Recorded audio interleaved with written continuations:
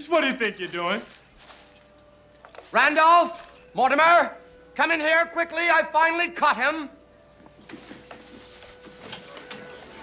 Who are you? I've caught him red-handed. Winthorpe, is that you?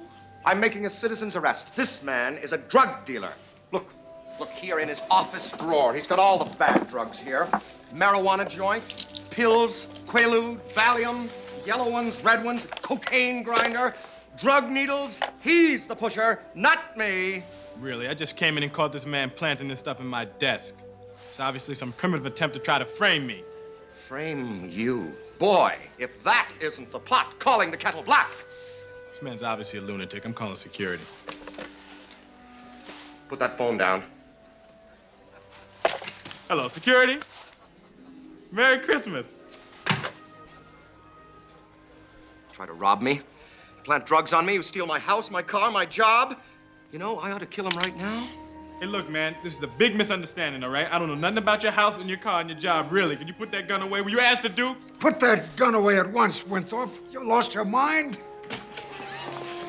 Freeze, slimeball! Whoa.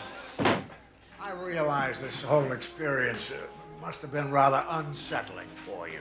Winthorpe, don't leave. We can explain. Yeah. You'll be sorry. You'll all be very, very sorry.